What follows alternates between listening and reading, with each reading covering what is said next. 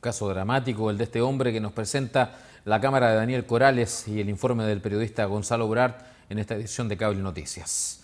Vamos a otro tema, les vamos a contar que tres incendios en menos de 24 horas tienen en alerta a los bomberos de San Antonio, dos de ellos, uno en el sector de El Carmen y el otro en plantación fiscal, dejaron viviendas con severos daños y al menos dos familias damnificadas. El tercero ocurrió en el sector de Sor Teresa y gracias al trabajo de bomberos el incendio pudo ser sofocado. Completamente destruida resultó la vivienda ubicada en el pasaje Camilo Enríquez del Cerro El Carmen. Cerca de las 14 horas y según el relato de la propietaria del inmueble, el fuego se habría iniciado en uno de los dormitorios de la casa habitación, construida de material ligero. Rápidamente las llamas abrazaron la precaria vivienda envolviéndola en fuego y generando una densa humareda que era visible desde distintos puntos de la ciudad. Hasta el estrecho pasaje del Cerro El Carmen llegaron tres compañías de bomberos, quienes lograron tras largos minutos poder controlar el fuego. Producto del incendio, seis personas, todos miembros de una familia, quedaron damnificados y solo alcanzaron a rescatar parte de sus pertenencias. En el sitio del incendio, el fiscal Álvaro Pérez entregó los detalles de la emergencia.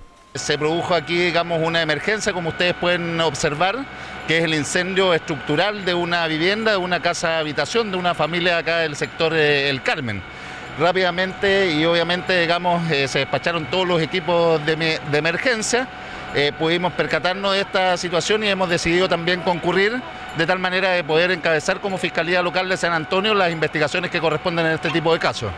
Dramáticas escenas se vivieron durante la emergencia, pues la propietaria del inmueble se vio sobrepasada por el nerviosismo, protagonizando episodios de angustia y desmayos producto de la impresión que vio al escapar de entre las llamas. La casa resultó con daños totales y la fiscalía investiga los hechos que terminaron con esta casa completamente destruida. Conforme a una entrevista preliminar que he mantenido con la dueña de casa, quien se encontraba en el lugar eh, al interior de la casa habitación, esta se habría iniciado en uno de los dormitorios, aparentemente, digamos, y conforme a lo que ella nos señala, por un problema eléctrico, será lo que tendrá que confirmar o descartar el equipo técnico del Cuerpo de Bomberos de San Antonio. En otro hecho similar, cerca de las 2 de la madrugada, en una casa del pasaje O'Higgins del sector de plantación fiscal, a espaldas de la ex escuela 1, resultó con severos daños producto de un incendio que se inició, según las primeras investigaciones, por una chimenea que proporcionaba la calefacción al hogar. La acción del fuego dejó severos daños en la vivienda, ya que más de la mitad del inmueble resultó dañado.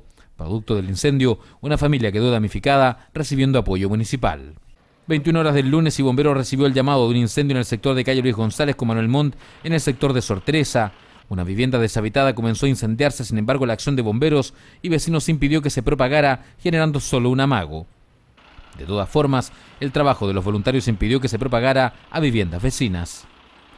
Tres incendios en menos de 24 horas que dejaron preocupación en los voluntarios de bomberos, pues en la mayoría de los casos obedece a problemas en la manipulación de fuentes calóricas o simplemente descuidos.